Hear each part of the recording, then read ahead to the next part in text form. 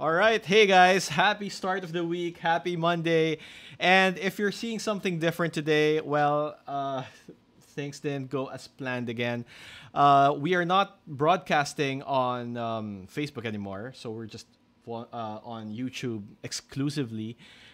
For what reason, I actually do not know. So uh, ever since uh, that issue with uh, Jason's episode with the copyright thing, I've been having some struggles trying to broadcast again on YouTube. So now YouTube is not accepting any broadcast from my cloud. I have to connect to it directly.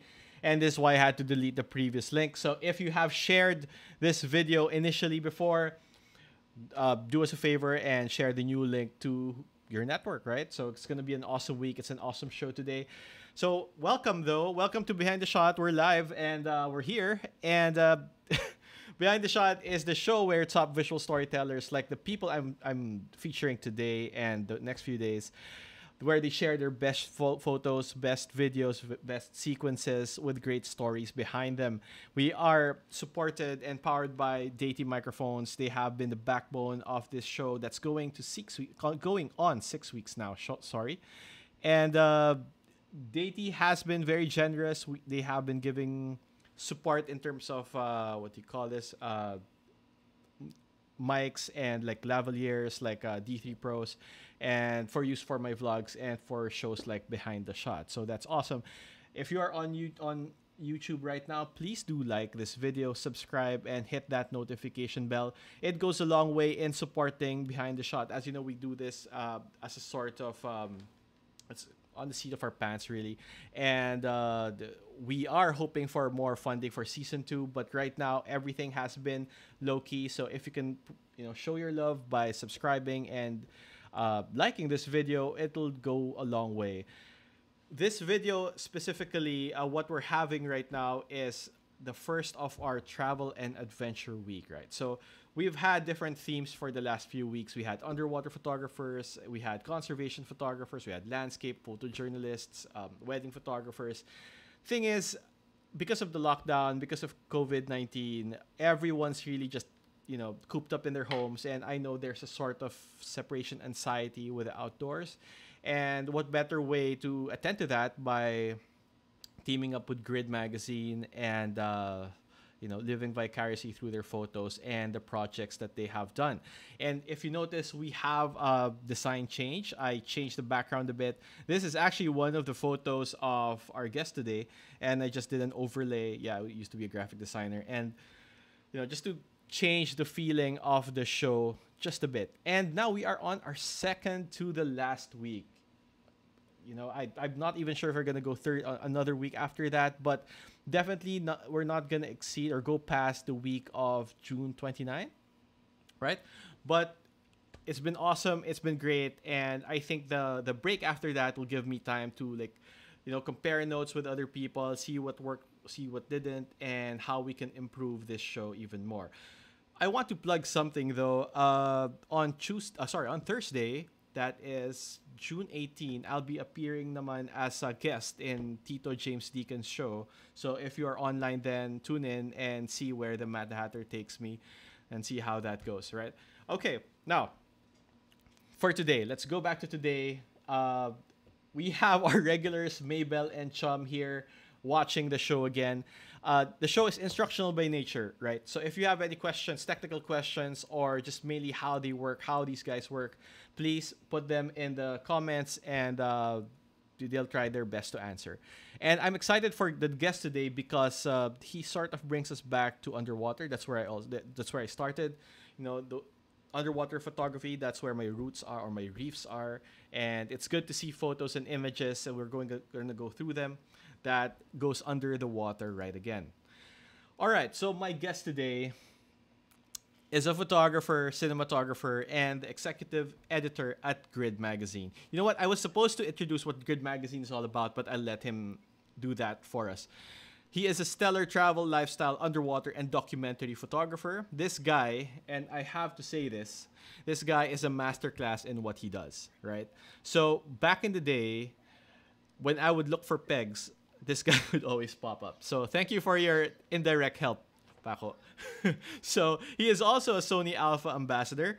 He works with international clients and brands such as, and I've seen these, the Peninsula Hotels, Uniqlo, Aboitiz, and World Bank. He studied in Brooks Institute of Photography and holds a degree in anthropology and communications from Gold, Goldsmiths College in London.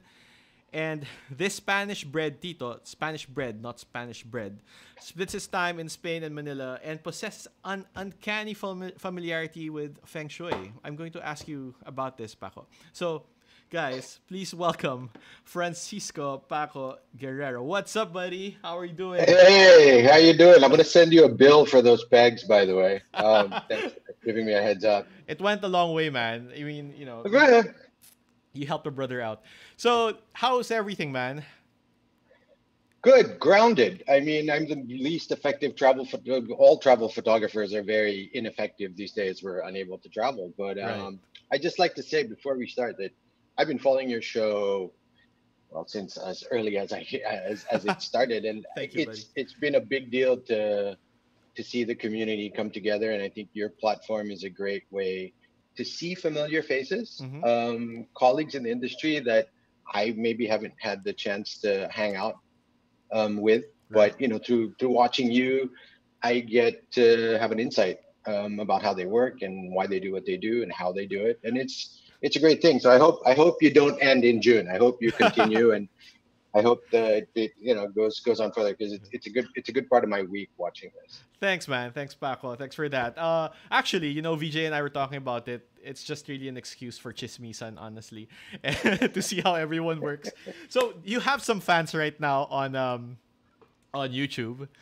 Uh, dare Oh, I yeah. say? Well, Carmen's here, so Carmen is going to be part Hi, of the show on Friday, and from Sunny. Yeah, I think your show on Wednesday with Sunny and Miguel Nacianceno is going to be quite. I'm I'm going to tune in. I mean, I know them both, so I, I think. And Carmen, Carmen is just brilliant. You know, she's she's uh, an inspiration. She's one of the younger photographers and directors we work with, and Yeah. she always comes back with amazing stuff. So I think again, thank you for doing a, a grid themed week uh, uh, this week, um, and letting us uh, reminisce on some of the stories we've done. I mean, it's we also miss traveling, so it's it's good to to make kwentuhan and chismisan a little bit. yun lang yun. Sunny is saying, "Wow, a shirt with a collar." Yeah, I thought I'd dress up for you. I mean, I saw I saw Jason the other day, and he had a tie. Yeah, I I, I, know, never, right? I barely wear ties, so I'm not, you know. I was sure. underdressed for that show. So okay, Paco, tell us about Grid. And uh, you know, um, I'm gonna speak from the layest of layest layman's uh, laymen. And uh, what is Grid? How does it? How is it different from the, all the other magazines that we see? Ah, um, we when we started Grid, we we had a little bit of a battle cry. It's a Grid, and and it's on our it's on our Facebook page. Grid is not a travel magazine, and by that we wanted to we wanted to say that we're not the usual travel magazine. Mhm. because travel for us is just an excuse to really tell the stories about the Philippines. You know, Okay. um, this was started. The idea really started more than five years ago, um, and it was a conversation between myself and uh, Christine, who's another of the founders, and we realized that as as creatives, um, all the good travel stories we were doing were for foreign magazines, um, not local ones Okay. uh, and even then, you know, the Philippines was only covered in a very specific sense. It was always beaches and coconut Right. trees and resorts. But we knew, as as most travelers know, um, the Philippines has a lot more stories than new resorts and beaches and Mm. coconut trees, right? True. and we we thought you know we need a platform to talk about these stories so as it is as it's evolved you'll see our magazine throughout the years it's it's about farmers it's about um, creatives it's about people trying to build um, a new way of being filipino through Right, travel the travel industry right And you have a very unique uh, publishing, uh, like the frequency in which at which you, you release your your issues. It's not. Is it monthly? Well, you know, when we started this five years ago, publishing print magazine, it's it, you know we weren't rushing into this because we were going to get rich. I can tell you that much. Even five years ago, the print in, the print industry was in a crisis, and we've had to evolve as uh, as the print industry has well well declined. So we started off doing it every two months, so bi-monthly. Um, after that, we've and it was about 120 pages what we were publishing Mhm. but you know, we spend up to a week out in the field per story. So we felt that, you know what, 12 pages for a story, it's just not enough. We can't, Right. you know, we can't tell the stories we want to tell the way we want to tell them Okay. in 12 pages. So we said, let's move to quarterly. We made it 180 pages. Okay. Um, so our stories were running between 18 and 20 pages, uh, which is unique Wow. in the magazine industry. Nobody nobody does 22 page stories, Right. but we our aim was always really the long read format. So you go back to issue one, two, or three, and a lot of the articles that our writers have put together are still relevant today because we never do bucket lists. We never do yeah. you know the new hotspot you have to visit now because that ages really quickly. As soon as it's published, it's old news Yeah, that's true. um, we're trying to we're trying to do something more long term something you can read five six seven eight ten years from now and get a sense of what philippine culture and travel is Right. uh, is or was about And you focus right on now- people, diba? You focus on people primarily. yeah um travel is about people man i mean Yeah. no matter how beautiful the beach or how nice the food it's still the people you meet along That's the way right Yeah, that's yeah. what makes it special so that's always been our battle cry. And um, our covers have been unique. We've you know nothing against celebrities and, and doing models and i think that's great but there's already a very big um, print industry built around that. Okay. our our cover models are conservationists um, imams free divers farmers. Um, that's that that's what we wanted to do and, and i'm really proud to say that you know I, get to work with a team that's accomplished it and is continuing to do it and that, that that's that's really a point of pride for me Even Sonny and Miguel. Okay. well maybe we'll, we'll see what they say on wednesday All right. So to set the, the tone for us uh, for this week, I'd like to play one of the videos that you released. It's amazing. So Paco, you do photography and then you do cinematography, you do filmmaking and and uh, basically uh, stills. And uh, is this something that you've been doing for a while, or did you start with photo and then transition slowly to video?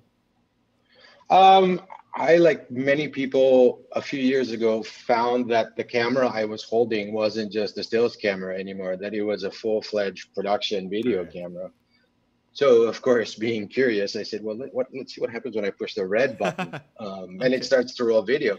So I started to explore that. Um, I mean, when I was in Brooks, we did we did explore. We had a few, you know, touched a little bit on film and doing and doing motion. Right. So it was nice to kind of go back to that a bit. Okay. Um, yeah. And what is the why did you choose to release this video? Like I think this was a few days ago, no, Paco. What was the motivation behind that? Yeah. Look, I our creative director Nachi Ugarte says that when he's tired of doing work, Mhm. he works on stuff for a grid. So for a lot of us, for at least the partners and the founders, for us working on grid stuff isn't work. It's really where our passion lies. And right. having been cooped up, unable to travel for the past for two months already, I said, well, I'd, I'd really like to touch base with all the grid filmmakers we've gotten to work with over the years, and that was Carmen Del Prado, JC Valencia, um, Laika Gonzalez, Carmen Del Prado, Mike D, Al Cruz. So I said, hey, let's do a Zoom meeting. I have a crazy idea. Why don't why don't we do something? You know, why don't we do an ode to travel? And of course, Right. it all starts with the writing. Yeah. And I told Christine, Christine, how do we put out a video that's that's relevant? You know, that that speaks to how much travel has helped grow um, small economies in the Philippines. You know, the small little resorts in these far-flung islands, the banqueros. These are the real heroes of travel, I think. Mhm. And they haven't they haven't had a business um, in three four months, and they might not have a business That's going for the rest of the year. So this is really a film for about, about them. You know, about how travel isn't just about us, the travelers. It isn't just about how much fun we have. That we can create a positive impact, and that it reaches many many many lives and can be a way, uh, as the film says, to rebuild. Cool. Let's check it out. Let's play it.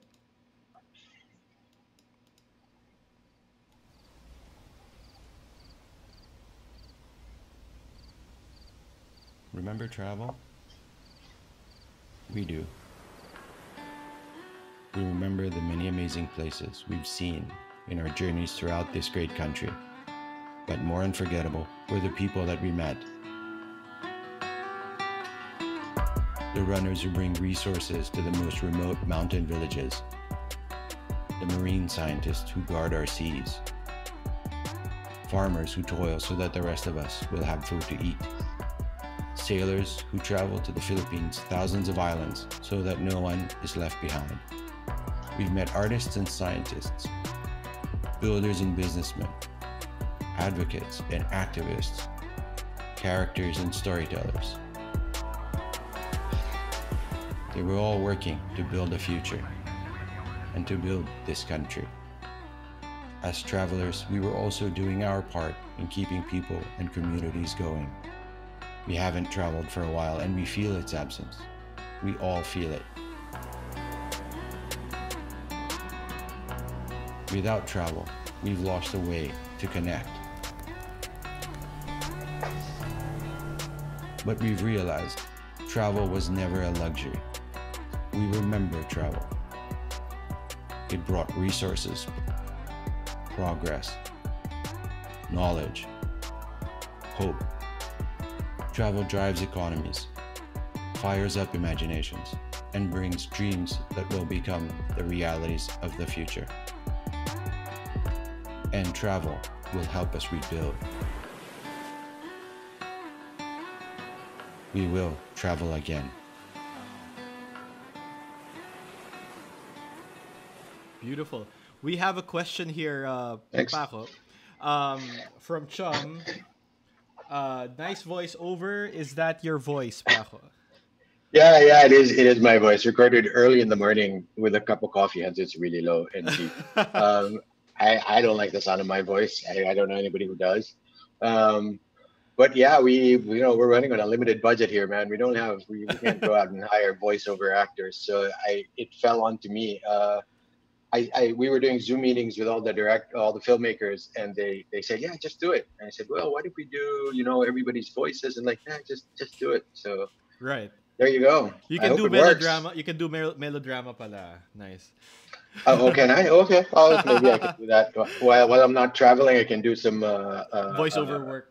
Latino Latino teleserye voiceover work. Bagay.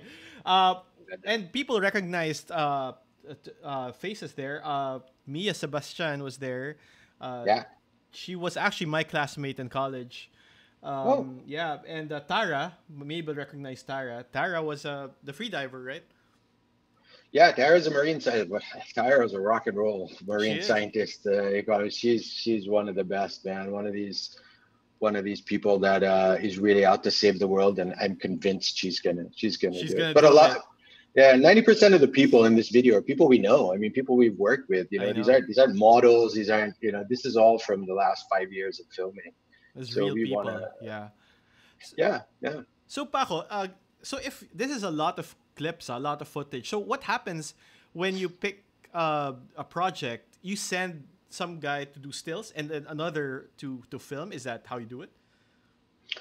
Yeah, look, the way the way we do things is uh, a story concept always starts with a writer. Mhm. Um, the writer is the one who pitches, does a bit of a story outline, does the research, the research, and then that goes through the editorial process to get approved. So usually our teams are one writer, one photographer. We never try and have one person do both because Mhm. one will suffer. And I think there are really very few people who can do both effectively. Um, and then it, for some stories, for some projects, we do decide to say, okay, this we should roll video on this. Mhm. So then we'll send uh, one filmmaker with the crew. Okay. Uh, As Grid, we've done a thing called the Grid Expedition. Uh, some of the footage you've seen there is from the Grid Expeditions. Let me just quickly. It's uh, it was a concept we had um, that started with the Cordillera Conservation Trust. So the idea is to get a small team of Grid, a writer, photographer, videographer, um, and team up with some sort of conservation um, organization or scientist or researcher.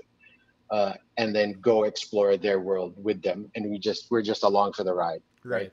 Um, so Expedition One was about the story of JP Alipio and the Cordillera Conservation Trust, and how their um, battle cry of keeping keep keep it wild Right. is affecting conservation and tourism up in the north. He's a Nat Geo Oh. explorer, if I'm not mistaken. Nat Geo Right, Explorer again, another rock star as far as I'm concerned, um, doing important work. Uh, and I think he's a really good communicator. He also has his own podcast now, um, which, which is great because he knows a lot of very interesting people. Uh, so that's a very interesting podcast. Um, go look for it. JP Alipio spot. Uh, the Wildcast. It's called. If The I can plug it. Wildcast, love it. The Wildcast. Uh, and the second one was about the story of the marine protected area in, in the Philippines. So Mhm. that was with Tara Brina, uh, Rene Abisamis, Rene Hunterial, and we had got to feature our national scientist, um, Dr. Angel Alcala. Mm. So basically, this is a story. We all know when we travel, we see the marine protected areas everywhere. Um, Apo Island is one of them. There are a lot of reefs, reefs we go snorkeling in Yeah. or diving in, and they're MPAs. And this concept was started by a Filipino, by Dr. Angel Alcala. And the, the key, his the main insight of Expedition Two is that conservation without considering the community is Yeah. useless. right. Okay, and that, that's what we were trying to drive home. And that was a unique insight that happened uh, here in the Philippines and has been exported to many projects around the world. Right. You know that's uh that's amazing. Uh, it's it's really nice when you can sort of you know if it ties in conservation, travel, and community. It's always the best. Uh, you can't have one without the other. So I it's agree. all part and parcel of that. Okay, so uh, with that, let's take the first set of photos as a sort of case study of how Grid approaches projects, right? So uh, before I set before you set it up, uh, you guys, if you haven't seen Paco's work, please visit Paco Guerrero on Instagram. Amazing stuff. the the pegs that I use for my work. Yeah, it's great. If, if you're a photographer looking for pegs, come to my website. It's, it's There the you go. perfect place. Royalty free though. And then Uh, yeah, uh, you can also check out my Instagram, Noel Guevara photo. It is slightly about, a bit about travel, but it's more conservation. So at least you can have a bit of context on who these guys are in front of you right now on your screen. So, all right, so let's head on over to the first photo right here. So this is Ah. Imam, right? So who is this? Okay, this is Imam Eledio, who's a Sama, or as as most Pinoys know it, a Bajau. Okay. But we found out that apparently Bajau is a bit of a derogatory Yes, term. yes, I remember that. So they yeah. don't like uh, being called that, and we really should stop using the term Bajau. The correct term is the Sama, at least him specifically. He's an imam of uh, of the community in Davao, of a Okay. community of Sama tribes people in Davao, and they live in an informal settlement in the Davao port, sort of between the industrial cargo port and the passenger terminal. So it's these houses on stilts um, Okay. out in the water. And this is a, a very simple portrait of him uh, on Samal Island. It was before we went diving, Reed. I said, I, I really want to take a portrait of you before we exhaust ourselves in the water. And this uh, eventually became the cover of Grid magazine, which I believe is the first time Asama Sama tribesman has been the cover of any magazine in the Amazing. Philippines ever. Um, again, another point we're, we're really we're really proud of, and, and the team was very brave to to say, hey, yeah, let's go with with this image. Um, this was our second issue. So this was with writer Christine Funacher and myself. Yeah, there's the cover. For the for the benefit of those who are watching, uh, we I've met uh, Sama fishermen. Um, actually, the correct, probably more colloquially correct term would be spear fishermen. Uh, Paco, maybe you can enlighten them on why they're so famous for what they do. Yeah, the, the Sama are part of a larger group uh, that was identified of nomadic ocean going peoples around uh, the southern Philippines, Indonesia, Brunei, part of Malaysia, Sulawesi. There are there are these water uh, water tribes Yeah. um, in in this region. The Sama just being one uh, of the many different groups. Now they were unique because they lived on floating villages, pretty much, just sort of moving around different places as weather patterns change, as uh, the fish move, they moved with. So imagine hunter gatherers on land that would live in the forests with no Mm. permanent um, dwelling. Well, the same for the Sama uh, and the water, the water tribes. They're hunter and gatherers, but on the water. Okay. And as and as such, throughout hundreds of years of existing on the water, literally on the water, some of them wouldn't touch land for months or years at a time. They developed some very unique uh, free diving, what we call free diving techniques. Yeah. So they uh, are masters of holding their breath and spear fishing because that's how they made their living, right? So this uh, this photograph here is a, an, an example of the, the housings they live in now. Unfortunately, modern governments don't like tribes that have no fixed address. They don't like people who cross borders willy nilly, don't pay taxes. So a lot of these nomadic tribes, especially in this part of the world, have been forced to settle. And it's a very unnatural thing for them to do. Right. It really classes, clashes with their cultural heritage. So by set forcibly settling them in fixed uh, locations, there's been a big blow to their cultural heritage and um, their way of life. Right. Uh, but this has been going on for decades. So what we know now as the Sama, or again, uh, is really a reinterpretation of what that culture was. But the culture is about the ocean. The culture is about living off of the ocean, and and actually, before before they were marginalized, was a very symbiotic relationship. Uh, Okay. Now, some of the Sama are viewed as as a negative, right? Oh, they're the guys who use cyanide. They're the guys who, Yeah. you know, use dynamite. Um, they weren't using cyanide and dynamite uh, years ago. This is because they're marginalized and they're hungry and you know they need to make a living. So, and and they're competing with commercial fishermen. So, you know, oh, competing competing is a very optimistic word, Noel. They're that's true. they're being decimated by commercial fishermen. You know. Yeah. Um, but again, we're discovering uh, there, there's a there's a growing uh, spearfishing community in the Philippines uh, uh, as a recreational sport, and it is when done right, it is a very sustainable way um, Right. and a very selective way to to fish. Yeah. Actually, yeah, there there is a stigma about spear, spear fishermen that uh, they say that uh, well, uh, they are not as disciplined as you know your run of the mill commercial fishers. But actually, it is one of the more the better way, the more sustainable ways to to fish because you can fish and you, what you what you shoot or what you get and what you hunt and that's what you eat right so that's usually what what happens there's no waste and there's no um, overfishing that happens there we have a question here paco from uh, mabel is um let me cue that up uh I've always wanted to do an immersion travel trip with Sama drivers Huh. and dive with them. Is that possible? You know, that's a good question.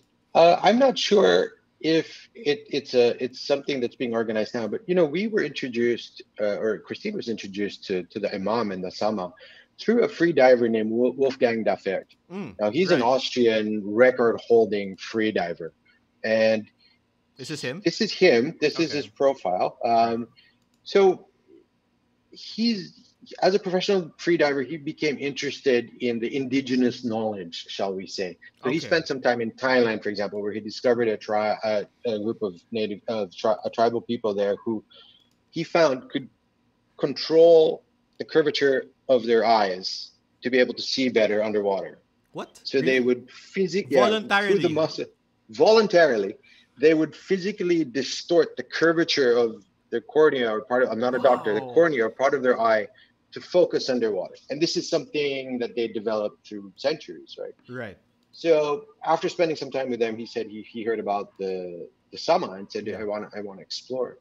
And Wolfgang discovered uh, again for the non non technical here, that he discovered a way of uh, that the Sama do, which is called wet equalization. You know when you dive or you you're snorkeling and your ears get stuck and you do this, Yeah. right? You're blowing air into your cavities to equalize the Right. pressure. Yes. Well, the some are going down to such depths that doing this with with with your with your nose isn't a very effective Yeah. method. So they do a a, a method that uh, Wolfgang calls wet equalization. Wet. Okay. They they purposefully inhale water into their nasal cavities, and again through either the muscles or the pressure in their face, they're able to move the water around their sinus cavities Okay. um, to equalize the pressure outside. Um, what, what he discovered, I think, ultimately is that the problem with that is that it does cause ear more infections, sinus infections, ear infections. There were a lot of blown eardrums. Foreign particles. But you know- also. Yeah. Ultimately, what Wolfgang was after is that you know free diving. Although right now it's the the top Instagram sort of thing to do, long fin suit. Yeah. I love my free divers. Uh, this has been done by peoples around the world for For hundreds long- of yeah, years yeah. and they, they have knowledge that that could be very useful to understand how the human body reacts at depth You know, uh, if I'm not mistaken, so I went to Samal actually Samal, Samal Samal Island. I can't remember. samal yeah Samal Samal Island, yeah. I went there in 2017 with Studio H2O to shoot a documentary. I think was that the, sa- the same time that you were shooting this project um, around I- I- 2017. No we were earlier we were Earlier, around okay. 2015 2016 yeah if I'm- Okay. if i if i'm not mistaken So we went there, and then they were telling me. So I had the the the, the great uh, opportunity to actually dive with some of them, but I was of course with the tank and Guillaume Néry. And uh, they were telling me that Imam could dive down to 100 meters. Is that correct? Huh, yeah. Uh, one of the things I, I, I, I with didn't one it. on one breath, guys. That just yeah, yeah, you know, one one breath. Yeah. for the uninitiated free diving it's just with one breath and you go down 100 meters that that that is a that's really deep you know, one of the things Wolfgang discovered was that nobody had really taken the time to measure how deep these guys goes uh, go because Really? you know these guys don't have don't have dive watches and depth gauges; they just go. Yeah. So we the competition, an informal competition, um, and the prize was a big sack of rice. So he said, "Hey, Okay. just, guys, come and let just go as deep as you want to go." And they were just informally, without really taking it too seriously, they were going 60, 70 meters, um, which is a two-minute, sometimes three-minute breath hold and that wasn't that wasn't a big deal for them. They weren't really pushing it, you know. They were just kind of playing around. So I think these guys these guys are capable of going of going deep. I mean, the the, rec, the world record right now by a professional freedivers hovering just past 100 meters. So it, it it would be amazing to see one of these guys, you know, equal Yeah. that depth. and then they, now they they compete right also they're they've been included in Yeah. the community in the free diving community. Yeah. community we really want to reach out with the magazine and try and, and make as much of a difference as we can and maybe we did a little bit uh, i'm not claiming that we're responsible but but you know i think hopefully it did. And, and you know the imam story has been great. He's been featured on hbo you did a you included him in a documentary with Guillaume Néry. Um, he's going to be in a documentary on netflix soon. And now he's uh, he's part of the freediving community. He uh, attends competitions. You know the Mm. community has been able to raise some funds it's good. get him enough uh, funds to get to Bohol and training, and um, so it's it's good to see that that um, he's been able to join a lot of the competitions and share his knowledge as well with the other uh, younger freedivers. that's good that's good yeah who is this guy in the photo right now That guy is nuts, man. That guy, that guy is named Papa Kula. He's sort of the Imam's sidekick. You know, for every Batman, there's a Robin, and this guy was definitely the Robin. So what he's holding uh, is a lure. Uh, a lure it's- okay it- it's a lure which uh, back in the day when you were allowed to hunt sharks and and and, and the bigger fish um, they drag this behind a, a banca a small boat. Um, so there'd be two bancas parallel. The one on the right would have this bait and then papakula would be on the left one also holding on a, on a rope being dragged with a spear gun. So he'd basically just look right and wait for a big shark or something huge to come up for this bait and shoot it. Wow. That's what he'd do. Um, of course, they don't do that now because you can't you, well, you can't hunt sharks, or you're not supposed to hunt sharks. But um, this guy was a character. This guy was a real character. and then uh, this is imam uh, this is his family Yep, this is the Imam's family, his wife and his and his kids. Uh, they live here over the water, Mhm. um, and he's called the Imam because he is the Imam. He's the Imam of the Ah. local mosque. okay So a lot of a lot of the Sama of the Sama people have um, taken Islam as as their religion. So again, that's that's a modernization of their culture. right uh, and that that's that's how he makes his living. You know, he spearfishes in the morning, and Uh-huh. then he does prayers uh, in the afternoon. Um, and he's he's a great, he's a well loved part of the community, I believe. You know, it's interesting in this photo, Paco, are the fins that they're using, and it's only one on one on one foot, right? Yeah, uh, the the basic equipment they use, and, and I think there's a couple of photographs later. Uh, you'll see more in detail. Yeah, it's it's one fin, one foot. Um, they have a mask which they kind of jerry rig. Usually, it's the old traditional goggles, and they have a homemade spear gun, and then they have a weight, the babit. So to descend, instead of having to fin down, they Yeah. just hold on to yeah. This is the mask, and that's the fin, and on the left here is the babit. Okay. So it's just a piece of iron, really, Yeah. that they hold on to that allows them to drop down to depths a lot quicker. Then that's pulled up by someone on the boat, and, and they wait for them to come up.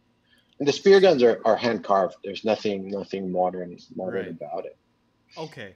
Yeah. Now, I think uh, this would be a good time to ask you, Paco. So, when you approach this story, uh, and this is for those who want to try their hand on, I guess, documentary or travel photography, how do you differentiate the subject from your story? Huh, that's an interesting question. How do you differentiate your subject from your story? Because sometimes I'm, I'm sure like for this one the imam was your subject, but I think after looking through your photos, right, this is a spectacular masterclass of a of a photo essay. The story is bigger than that, so yeah. you know I want to pick your brain and because it usually when you're asked to do something, right, you, you go and uh, you I want you to photograph imam. That's your assignment, and then you get there. Oh, you know the story's bigger than just imam. He figures in it or something. But how do you how do you approach it? I'll tell you a secret. The story is always bigger than what you think it is. I mean, that's why you go, yeah. right? Uh, the way we do it at Grid is we we don't use the word peg. Okay. Because for us, peg, at least in the way we do things, peg limits your vision of the world. All of a sudden, you're looking at, okay, I need to find this image because it's my peg. Instead of really looking around you and saying, well, what, what's here? What what is the story? Right. Because there's no way there's no way we can write a storyboard for this sitting in Manila without having gone to, to walk the, the planks of the village, to go into the water with him. So what we do is what during story development, and the writer takes lead here always. It, it's just a general outline. Yeah. We try and talk to the people, we try and make contact, but we just want to get a rough idea of what we might find. So we're never there to prove ourselves right. Mm-hmm. We're always there to try and find a story. Right. Does that does that make sense as far as it as does, it does. So now structure? on the opposite extreme is what if you went there and you had something in mind already, but by the end of that, let's say that three day or nine day trip, you know what the story's different. And it's uh, always like that. Okay. It's always like that. And luckily the way we do it is when a photographer and the writer come back, we allow time uh, and creative discussion for them to tell us what the story they found is because right. we know uh, as you know the editors know the photo editor Sunny knows that it's never what you send them out to shoot True. the story really is what they come back with and you have to be flexible enough to allow for that difference mm-hmm. right? as editors sitting in manila we're not there to force what the story is yeah. we're there to listen okay what was the story you found and how can we tell that in the best possible way mm-hmm right? Interesting. So again, here the story was the imam, but really it's about conservation, it's about culture, yeah. it's about the sama, it's about marginalization, it's about freedom, right? Yeah, that's the three pillars coming together: your community, your conservation, and your travel. So yeah, exactly. grid is all about, man. Cool. Uh, so for you guys who are watching, we just uh, finished the first uh, photo set uh, with Paco Guerrero and please check out his Instagram, my my source of pegs. So uh, Studio Guerrero, I have corrected it. Initially, it was saying Paco Guerrero.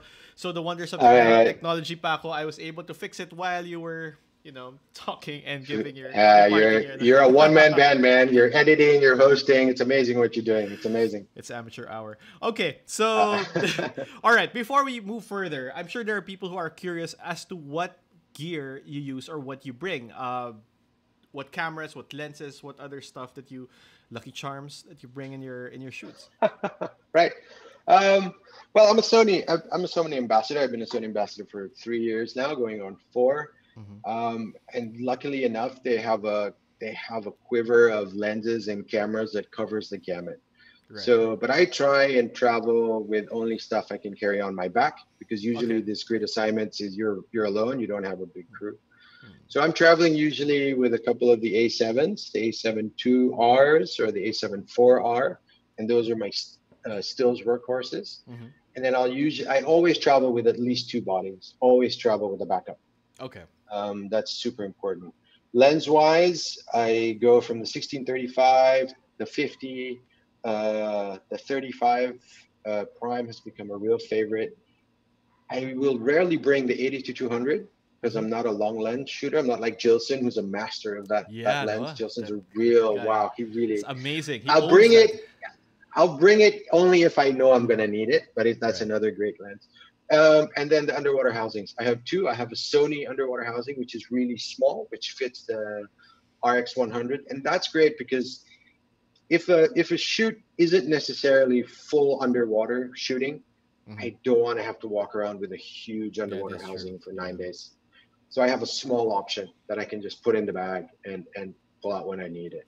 Okay. Then of course there's the big Ikelite underwater housing, which right. fits the Sony A7 series for the more for serious. More serious yeah. Uh, yeah. do you bring uh Do you bring um artificial lights? Do you bring soft boxes uh when you travel?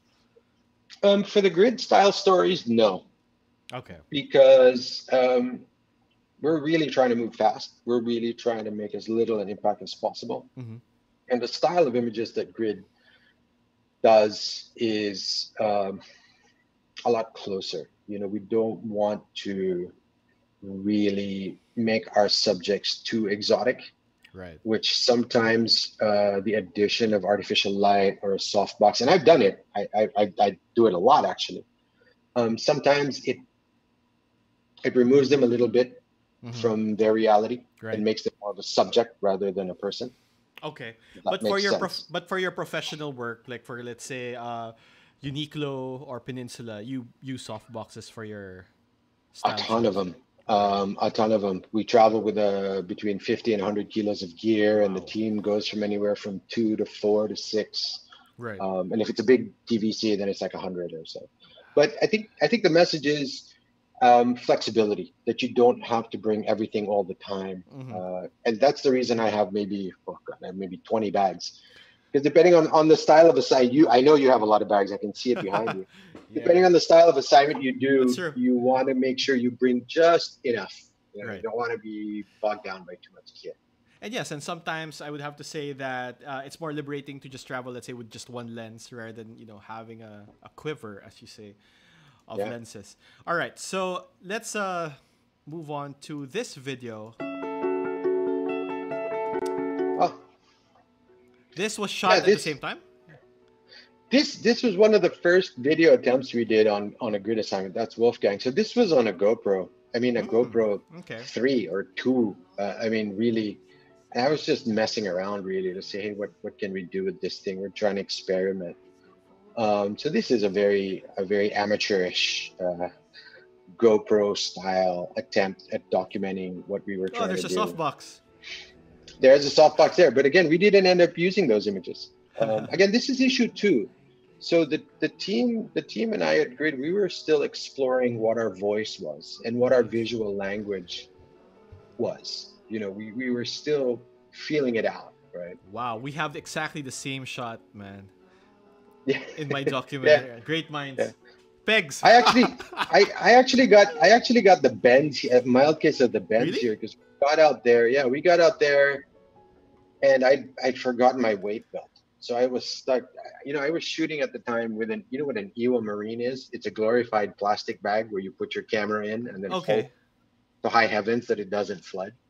So it's basically a big air balloon with a camera inside. Um, so the problem, I couldn't go down because I was so buoyant. So I was saying, okay, I can go down maybe five meters and up, five meters and up. Right. And after a whole tank of doing that, I, I was doubled over for the rest of the day, Holy which is a, a lesson I learned. Um, it wasn't it wasn't anything severe or hospitalization, but Right. I was I was I was hurting for a good day after doing that. we have a we have a question in a comment here. Um, okay, from Mabel again. Oh, Ale Ponzo is uh, tuned in. Um, Mabel, it's interesting to still see people who know how to actually hunt and not rely on uh, commercial food. And then for the shoot with the spearfishers, I think you answered it. Was it shot on one breath as well, or were you with a tank? I, I I was with a tank then. This was this was before I had contact with with freediving, so I had no experience freediving whatsoever, and I thought uh, the tank would be would be the way to go because that's how I knew how to be in the water as, as a scuba diver. Um, and Sunny here, I'm seeing is correcting me already. I know, I know. comment? You're a troll. You have a you have a paid troll. We used Oh, he's a photo- editor. It's his job. we used one photo where you used the softbox for fill. I checked. Ha. Okay. Right, but um, it's not something. It's not something I like to do much now when we shoot grid stories. And it's just fill. It's not overpowering. yeah, It's not sort of a softbox as key light um, effect, right? that's true. There you go, Sunny. That there's your answer. Hey, I'm I'm accountable to my photo editor. Which, by the way, for the listeners, when we say Sunny is our photo editor, I, I found that in in here in the Philippines, photo editor is uh, when people use the term photo editor, they mean someone who does the retouching and Photoshop. Manipulator. Yeah. Yeah. Uh, when we say photo editor, Sunny is in charge of coordinating all assignments with the photographers. He's in charge of reviewing all the images when they come in and selecting or editing this, the, the visual part of the story. Um, and then handing that over to the art director who then lays it out and, and puts the words and the pictures together. Right. I have a term for it, but it's PG. I can't use it here. Okay. Anyway, for our episode, Sunny, don't worry. Okay. So and then the, the the second set is closely related to the first. So we had your Yeah. cultural dri- diver, your, your Sama uh, spear fisherman. Then for this one, you have your free divers, right? And you free dive as well, right? Yeah, well, after after getting sick with a with an air tank trying to photograph the imam, I said, okay, I'm, gotta I gotta learn how to do this. Luckily, I was able to take a very short course with Wolfgang, and then eventually the wonderful, fantastic Tara Abrina and Carlo Navarro um, safely guided me through my AIDA two certification. So so yeah, I'm a very very humble, very bad freediver. Right. Tara is awesome. You know, uh, with my certification for AIDA 2, she was the one who got me to 16 meters. So I was really having problems going down 16 meters. There was that, you know, there's there's tension and there's fear, but you know, she, you know, she was my wingman for that. So that was wingwoman for that. That was awesome. Absolutely. Okay, so uh, tell us more about this project that you have for Grid. Okay, so um, this, so we we had contact already with the freediving community in the Philippines with that with that um, issue two story, which was back in 2015, Mhm. before there was a freediving community really to speak of.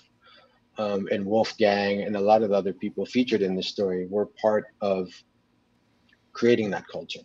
One of the key people was Carlo Navarro, Yeah. who's uh, who does mano mano freediving out of Anilao, and I think he's been responsible for training a lot of our instructors now, and a lot of freedivers go through him. Mhm. So he's been key. So this was done two years ago, and the idea was a follow-up story and say, hey, Okay. you know, the first the, the first freediver we put on the cover was an imam from Davao, and Yeah. uh, four years later, all of a sudden, freediving is uh, experiencing an incredible growth in the Philippines, and we think it, it's one of the perfect um, activities uh, for travelers in the Philippines. You know, it doesn't have the financial barrier of entry that scuba does, because Yeah. scuba can get expensive Mhm. um, and it allows us to enjoy our coastlines and you know it's a skill that very very many people can do it's it's with a little bit of practice and the right instruction almost anybody can do it Yeah. and at the same time we were seeing that bohol was becoming an epicenter regionally and globally for the freediving community professional freedivers were choosing the philippines to come and train for competitions and the project you were involved in with Guillaume Néry, who arguably is the most famous freediver right now. Yeah. Um, he did this great project in the Philippines, and the DOT decided to name us uh, the freediving uh, capital of Asia, right? Really? Um, so basically, yeah. yeah. I, well, I we remember that. Yeah. yeah we we have the we have the spots. Basically, a freediver is looking for calm water, calm and very very deep water, as close to shore as possible Mhm. and we have that, especially in Panglao, um, Yeah. and in a lot of spots around around the Visayas. There's a lot of potential. So the idea here was to really say, okay, this is a new sport. This is a radical sport. It's getting a lot of traction. Um, it's a new way to interact with nature. Mhm. So let's do a story about you know how this evolved. And the writer for this was Fräulein, um, Fräulein Ekonar. It was her Okay. first time free diving, um, and for me the most amazing thing was I you know this is uh, this is Stefan Randy, who's a, I mean, he's a national, 16 time national record holder. And you get to share the water with them. You know, I mean, they were, they were pandering to my freediving level. Okay. Let's, let's be clear. We weren't down 50 meters for these shots. There's no way. So they were, you know, they were The really training nice wheels were on. yeah, absolutely. Um, so they were really nice enough to, Yeah, to free dive at my level, which is very Yeah. shallow. But um, to share the water with these guys is, is amazing. Again, free diving is a great example of what grid really is about. You know, number one, um, it's about con- it's about conservation because these Right. guys want clean oceans. These guys are going to be throwing plastic, and you know they want the ocean to be clean. Uh-huh. Uh, it's about travel because you get to go to all these destinations, um, and it's about this community of of, of breath holders right? That, that's being built around around the Philippines. And how does that affect travel? Well, now all of a sudden you have um, far-flung destinations that couldn't afford to develop a dive resort or have the facilities for a, a, a dive shop because that involves a lot of money. Mhm. All of a sudden, with some safety equipment and a well-trained instructor team, you could open up freediving in a small little village in Palawan or in the Right, Visayas, right. right. So it had that potential. That's Um, true. Still has that potential. But certification though is important. I have to say that uh, there are Absolutely. some right the pop-ups that aren't certified. So be careful. In as much as uh, Paco and I are encouraging you to take up freediving, uh, my brother-in-law uh, Nico Soriano is also a uh, freediver and uh, an underwater photographer. He set up shop also seasoned in uh, in Coron and also Yes. here in Manila. So, but of course, because of what's happening, uh, they're, they're they're having some challenges. Now, uh, one thing I want to share with everyone is uh, a lot. I- Most of the people I encounter are very hesitant to take up free diving, mainly because they have this notion that I can't hold my breath for two minutes. And I remember Carlo saying specific, uh, very specifically that uh, anyone and everyone with the proper training can at least get to two minutes of uh, breath hold, right? And it does have advantages as well, right? Because for me, as a wildlife photographer, with less bubbles, I can get closer to and to bigger animals. Oh, so Nico is watching. So hi, Nico, Nico Soriano. So he's an incredible photographer as well. He has, you know, follow him on Instagram, but he does his work also in Coron, and it's amazing, um, Paco, that we have so many spots here that are great for freediving. Right. Yeah, um, and it, it, I'm glad to see like the DOT is, is recognizing that Yeah, potential, right? right. But as you said, um, this can be a dangerous thing to do if done in ignorance, like anything, like Right. going trekking on the mountains, right? So do get certified by a proper certifying body, whether it be AIDA, PADI, Molchanovs, whatever it might Yeah. be, but go through the training. Yes. It's a great way to experience our, our country, really. Um, most of our country is underwater, so you want to go is. see it. That's true. Uh, Mabel is asking for a free diver, photographer, videographer week, please, for behind the shot. Sure, for season two, we're gonna have that. Um, first, definitely, absolutely, we're gonna have that. Okay, so in um on Facebook, actually, my friend Paolo Francesco said that. Uh, I really love their work, Grid's work on the pearl farmers. I, he reread that article so many times, and coincidentally, that is our third set. So Oh, good. Awesome. Right. So, when did you shoot this uh, project, Paco? Oh, you got me there. No, this was done in 2017, I believe, 2016, 2017. um, now, this is the story really of a company called Jewelmer. Okay. Um, and for those who don't know, they farm the Golden South Sea Pearl, which, by the way, is also our national gem, Hmm, uh, which is on the 1,000 peso bill. okay. And it's the only precious gem that's grown and not mined. Okay. right? So it's the only really sustainable gem in the world. Uh, it has to be cultivated. The catch, um, the golden type, the golden variety, um, is very, very hard to find. It's very rare, uh, usually only found in the Philippines. Uh, Mm. And Jewelmer was able to breed the oysters um, that produce the golden South Sea pearl. Okay. And the oyster is very picky, man. It only will grow in pristine water. It doesn't like, you know, plastic cups with crabs in it floating around, man. I can tell you that much. So it only likes clean, clean, clean water. Right. Um, the founder of Jewelmer actually was the one who started, um, Mr. Brunnick was started the black pearl industry in Tahiti. Um, and from there, he took some of the, the the information and the knowledge he had from starting the black pearls there to the golden South Sea pearls here. Okay. And now Jewelmer is the number one uh, golden South Sea pearl farmer Wow. and jeweler in the in the world. Amazing. So you were saying though before uh, in your notes that this was a failed cover shot. Yeah, this was uh, the joke. The joke. The joke is uh, all my cover shots are outtakes. Um, like the ones I purposefully try and make a cover, don't make it, and Sunny will go I was find gonna say. shot at the back of the SD card. No, that's the cover. Like, damn it. Um, Okay. But yeah, this was, uh, yeah, this was a this was a failed cover try on my end. His, this guy's name is Sano. He's Okay. in one of the Jewelmer uh, farms. So the Jewelmer farms are in Palawan, um, undisclosed locations. They're they keep quiet where these exact locations are for obvious reasons. Mhm. Um, and the great thing about this is that uh, you know it really was about the community because Jewelmer t- to be able to create these pearls, these pearls take five years before you can get a pearl. Okay. All right.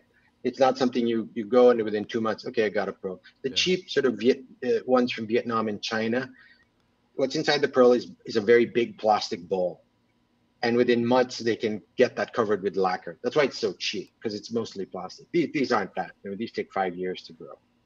So these are very isolated islands um, in Palawan, and the secret that Jewelmer has figured out and that's why they're successful is because the pearl for them is a secondary product Mhm. the first goal really is to build a community so you have to have these farmers and, and the farm workers become a little village um, and they take these people from all over the philippines they create these little villages on these isolated islands Right. and and Jack Brennick, who who who runs Jewel now, the son of the founder, uh, was saying that you know if you notice it, if there is conflict in the farm, like some people are fighting, there isn't very good vibes, the production of the pearl goes down. If the farm is really gelling really well and people are happy and working and working well, the production goes up. So he he he says that you know whenever you touch the oyster, it absorbs your energy. Mhm. So if you're angry, if you're tired, if you're not doing well, you know, that pearl will absorb that energy and it won't grow. Wow. So it's a whole holistic approach they have. And, and Yeah. all, all the pearl farms, all the waters where the pearl farms are, are marine protected areas. Okay. Um, so they're not only there to protect the, the oysters, they're there to protect the environment. So they have a long view because they know it's useless for them to protect just the oysters if the water is getting polluted, if there's cyanide fishing just a few hundred yards away. So again, for them, it was creating a community. And that was a big discovery for us as far as uh, this story. We spent nine days north to south of Palawan for this, visiting over seven farms. Um, it was an epic thing. At one point, we had no signal for maybe three or four days, and our respective spouses, uh, the writer and I, were calling each other. Hey, have you heard from Palawan? Have you heard from you know? And we had to give signs of life every once in a while. wow. you, Um, you it's get one the, of you get the best assignments on grid. Uh, I have to say. I I try. The rumor is that if there's a if there's a nice resort, then I'll do it. Um, Right. If it's trekking up a mountain and staying in a tent, that's Sunny and Miguel will, will be handling that that story. Thank you very much. okay, so from Sunny, this became the story cover. It was a diptych with the gold pearls on the left page and this on the right. The issue cover was right. underwater shot black and white. I love how you have a wingman in the comments, man. Awesome. Well, you'd say wingman. I'd say someone who you know keeps me to high standards. You know, I better be careful what I say here. You know, um, You're on Ah, the thi- record. this photo- okay. this this picture I love. You know, the seat. What at the beginning, Jewelmer would would collect the oysters wild, um, but they knew that that was not sustainable. That was there was already pearl farming down south in Mindanao, Mhm. right? But more than farming was pearl collecting, really. So what they figured out is that they had to learn how to breed these oysters properly. Okay. And the species of oysters they use is called the Pinctada maxima Pinctada but they couldn't breed it until they figured out what it ate. And just imagine that out of 40,000 species of plankton, they figured out about half a dozen that these oysters eat. And this is what you see here. They're growing the plankton. They're growing they the feed- plankton. They're growing very specific species of plankton that they use to feed um, the baby oysters. So it, it's an incredible story Wow. if you can it's available online i believe i have to check with digital but it's an incredible story of overcoming these impossible odds you know and becoming this fantastic thing It has become a science. Huh? Wow. Okay. And then, why is this guy with shades and a?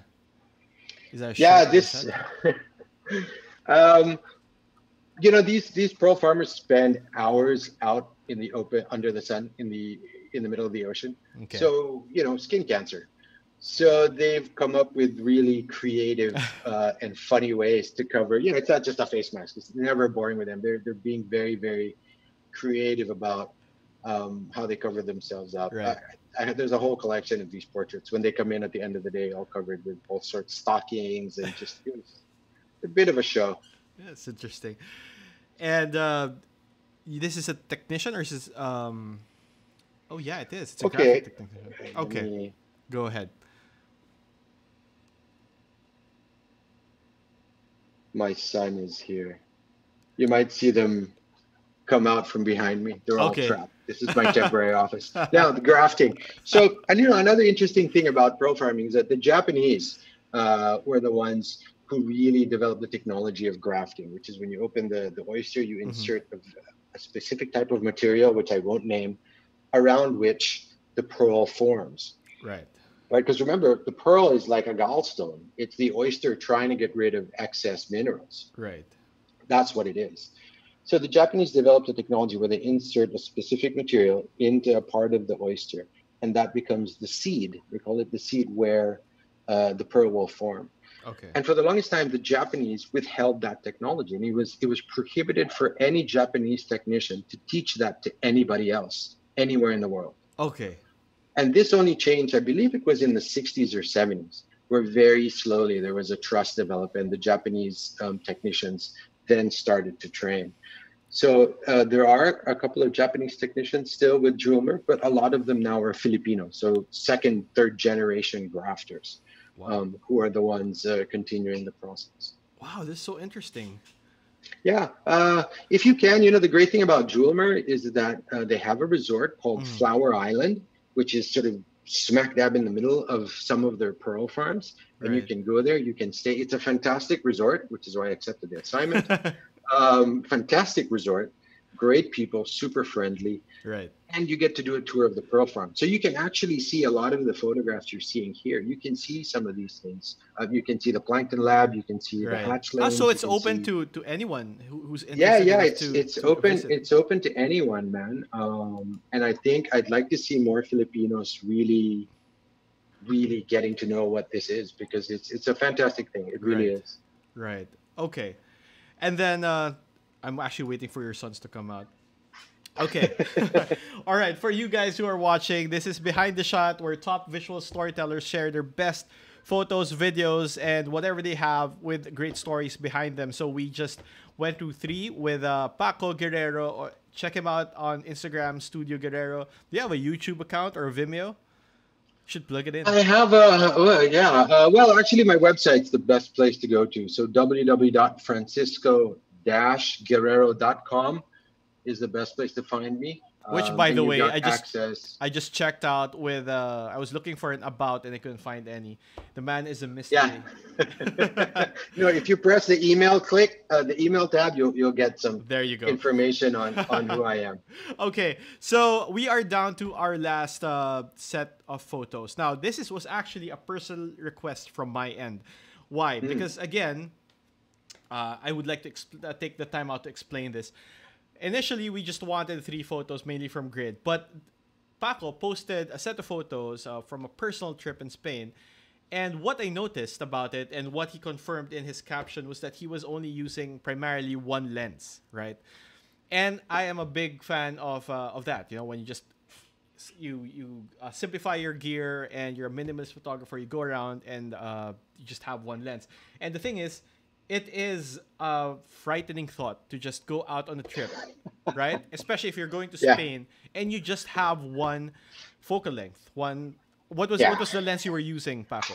Uh, well, it's not just for personal trips. You know, a lot of the images you you showed are shot on my my go-to lens, which is the 50 millimeter. Um, with the Sony, it's the it's the 55 millimeter. Okay. Um, but I I've always shot maybe it's safe to say 80% of my travel work is done on that lens. Fantastic. Okay. The so most beat up lens I own. so Paco, let's put our professor caps on, and for the Okay. benefit of those who hear, all these guys here prob- uh, definitely travel a lot, and uh, the usual question is, what kind of lens will I bring? Now, let's go. There's usually an exercise or a challenge, eh, no, Paco. When you read those how you know how tos for travel photography, there's one chapter there. Yeah. Try to travel with just one lens. So, describe to us uh, what went through your mind in traveling with just one lens. So, and it's and it's fantastic. Sorry, let me correct that. Uh, that was squished. I know OBS is messing up. So just give me a preamble first while I fix that. Yeah. Well, um, the, you know, each lens is really a unique way of seeing the world, right? Right. So while you can buy, you can have a huge quiver of lenses, and I sure do.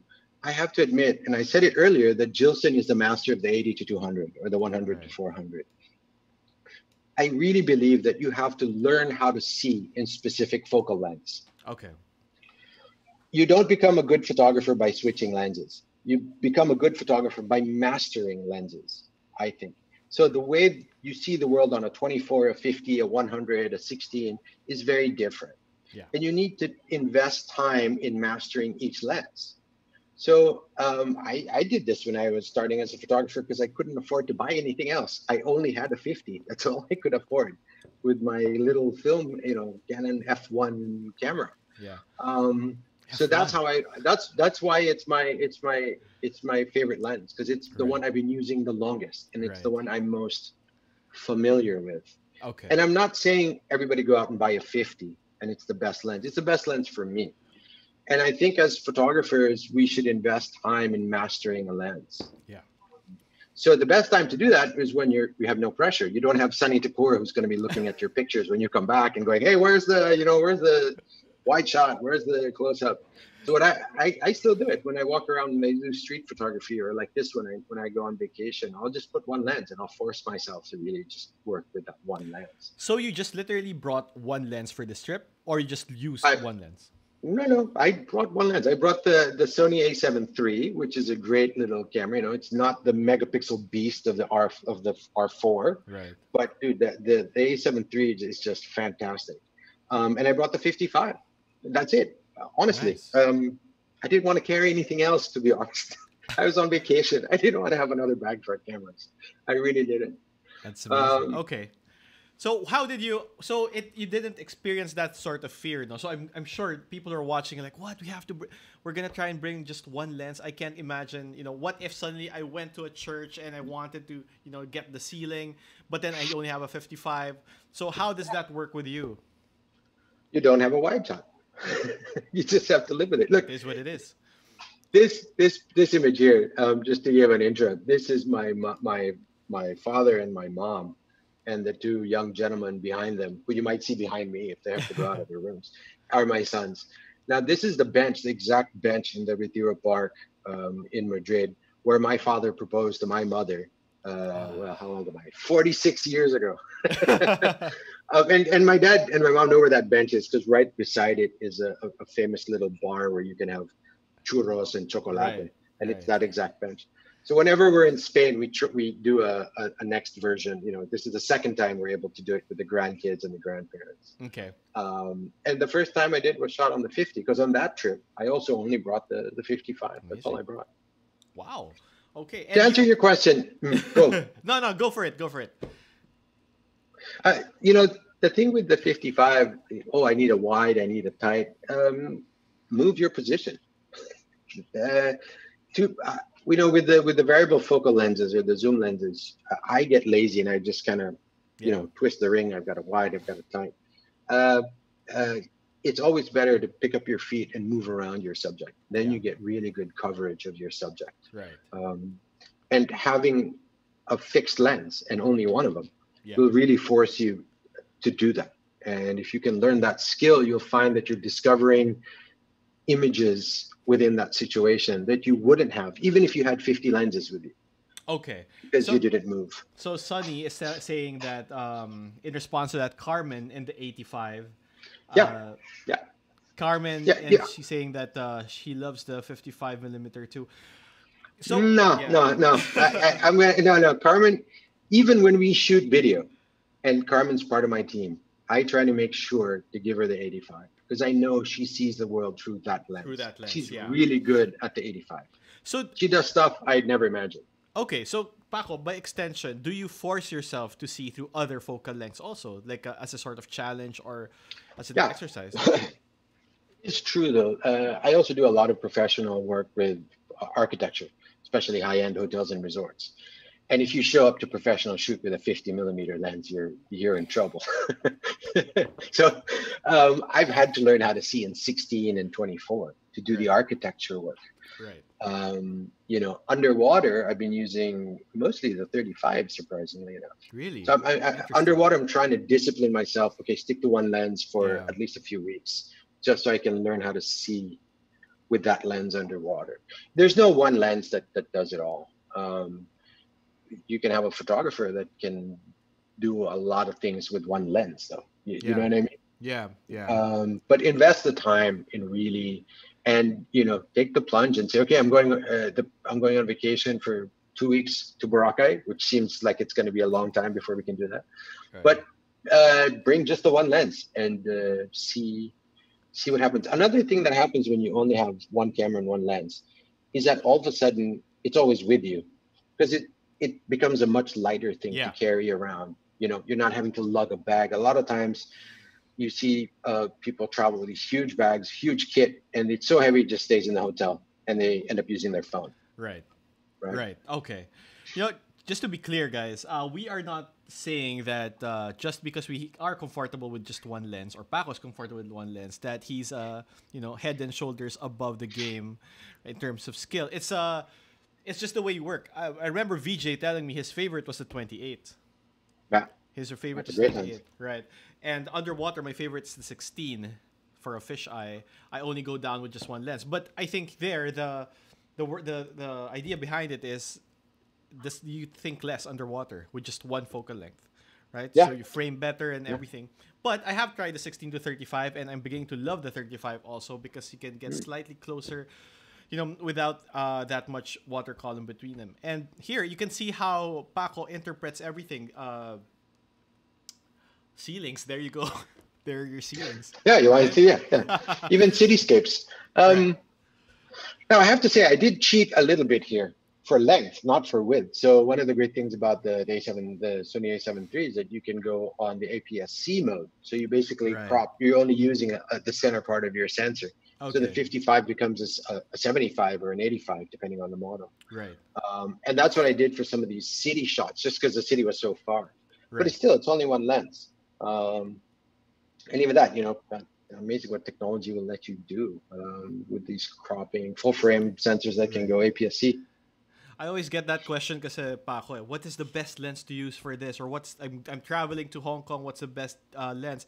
And you know what you've proven with this uh, set is the best camera or lens is the one that you have with you, right? Yeah. And uh, again, like like I said, Paco is the master class of of grid. No, well, I, you know, the best lens to bring is the one you, you go to your bag and you figure out the lens that you've used the most, the one with the most scratches, the one that looks like it's been beat up, and Yeah. that's probably the best lens for you, because that's the one you've used the most. That's true. Right. Yeah, that's one way to look at it. Well, there Mm. you go. That is your masterclass session today. An hour and 15 minutes of that with Paco Guerrero uh, from Grid. And wow, you just set the tone for the week. I mean, uh, uh, Sonny and um, Miguel have big shoes to fill for Wednesday. I'm sure they're going to do great. I, I re, I'm, tu- I'm tuning into that show, and I'll be double checking Sunny's. You'll be uh, the troll for that. For that. Uh, for as that he's been doing to me. Yeah, yeah, fact checker. I like to think of myself as a fact checker. It's gonna be less PC though. I think Sonny's a, Yep, yep character for sure, All right. for sure. Okay, guys, uh, thank you for watching uh, Behind the Shot. Uh, I know we kind of extended a bit past our six o'clock um, slot, but you know it's been an amazing conversation with Paco. I do hope you guys learned a lot from well, not just the projects that he did, but also for the way uh, he has approached those projects, which I think is very unique and something that everyone should listen to and learn. Paco, any words of wisdom, uh, parting words of wisdom for our guests today who tuned in and wow, they're really engaged with all the stuff that you showed, man. Amazing. yeah, that's that's good. I, you only the comments are always uh, always fun to read. Um, just- any parting words? Uh, Just thank you. Sunny. Uh, Yeah. yeah. No, thank you for for doing this. I think um, I think as photographers in in regular daily life, uh, without coronavirus and without lockdowns, we rarely get a chance to interact with each other because we're all off doing our own things. That's and- true. And um, I've been actually been able to hang out with more photographers more often while on lockdown than than um, pre-lockdown. Yeah. Um, and you know, again, it's about growing the community. It's about um, realizing that we all have stories to tell, and uh, what we do is just we spend a little bit more time uh, to try and learn how to do it. But everybody can, Okay. uh, and the more of us out there telling stories, I think the better. Okay. Paco, sorry, there's a question here uh, sent to me uh, by chat. Do you uh, hold workshops? Yes. Um, Obviously we- not now, you- right? but Yeah, you can catch me two ways. Uh, with Sony, Sony's been very supportive of the photo community, usually doing uh, free uh, workshops uh, throughout the year with myself and the other Sony ambassadors. We give talks and we give one day workshops. So hopefully, once the lockdown really clears and we're all able to get it to go out again, we'll, we'll restart that. Another way you can catch us on workshops is through Grid. Um, Grid does workshops usually once or twice a year. Mhm. It's it's a bit more involved. Uh, the workshops are about a three or a four day workshop. You get to work with Sunny and Miguel and myself, and you end it with a small little documentary portfolio. Nice. So it, it depends on what level you want to engage, um, where you think you're ready to, to engage Right. with us. But we'll, we'll be out there once when things get back to normal. hopefully. Nice, that's great. We also have well, Ram Yora is also uh, watching our great guest for the first episode, and that Oh, is- right, the the cave thing, the diving. Yeah, awesome. yeah, yeah, yeah. That's Right. crazy. I hate caves. I hate caves. That's why I respect work. I respect the work, man. Are you Um, claustrophobic? we had- no, but I I spent about twelve hours at the Puerto Princesa Underground River. Um, Okay. We did a shoot for the DOT there, and Right. after twelve hours in that cave, I I'm not in a rush to go back. So respect to you spelunkers and spelunking photographers. Wow, I really respect what you do, man. and photographer pa. I mean, you know, Yeah, yeah, like yeah. pushing the envelope. Absolutely. right? Okay, Yeah. guys, if you like this video, please, please like the video itself and uh, you know subscribe and hit that notification bell. You know, it, it might seem like we're just garnering from for likes here, but actually it pushes the algorithm. Uh, it tells YouTube that people are liking the, the video, and the thing is, the, the the core objective of behind the shot is that people learn more about the work of our very talented photographers and also to inspire those who have been i guess burdened with anxiety with you know losing their work or source of income.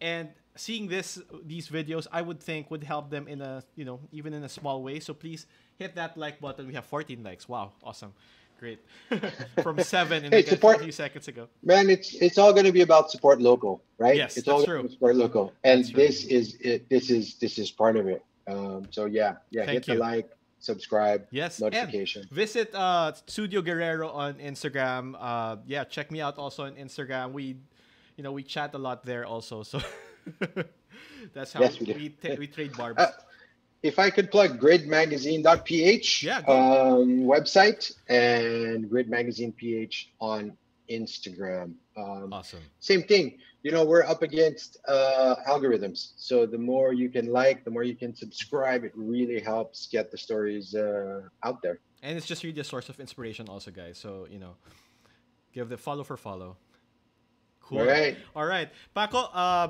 please stay in our zoom conversation i'll just close the show and i'll get back to you in like five minutes right okay paco thank you very much for joining Thank us Thank you, Noel. Thanks, everybody, for all the comments.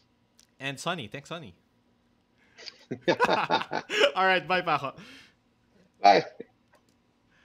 Okay, and that was a really, really insightful episode with Paco. Um, I, I don't, I kid you not. I mean, uh, I tease him a lot, but really, that guy is an amazing photographer, and uh, his work has been sort of, um, I guess, uh, it set the bar for me sometimes when I do my documentary work. Him and VJ Villafranca sort of have been the inspiration. I wasn't supposed to say that on air, you know, but you know, I didn't want uh, Paco to hear that, but you know, whatever.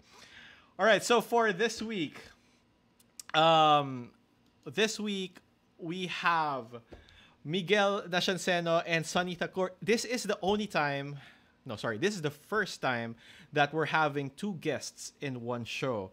I, I really don't know what I was thinking, but uh, it might be fun. It might be boring. Let's see. Uh, we never take ourselves seriously here, and I think here we are going to push that even further. And finally, we are going to have uh, that episode with Carmen Del Prado, very talented. Again, I ambushed her again on Facebook and Instagram, asking her to be on the show. We've never met, and uh, well, she was kind enough to to say yes. So that is going to be amazing, right? So on Wednesday, we have Miguel Nacianceno and Sunny Thakur, again from Grid Travel and Adventure Week. Grid is not a travel magazine, but here we are. And uh, it's going to be great. Uh, we're going to go through different uh, points in, in the Philippines uh, where Miguel has been, and also to Masbate, where um, Sunny has, I think, uh, took a photo of a, a rodeo. Paco's still here. So is it that right, Paco? He was in a rodeo? Yes, that's right. That's okay. Okay. Good. They can't hear you, but yes, that was an affirmation from Paco. So again, please like, subscribe, and hit that notification bell for Behind the Shot. And if you uh, are interested in seeing my work on Instagram, just visit Noel Guevara Photo. Thank you guys. Good night, and I will see you on Monday. Ah, sorry, Wednesday, and on Thursday I am guesting in James Deacon show. So tune in. I will post the link on my Facebook and also on Instagram. Cheers, guys. See you on Wednesday.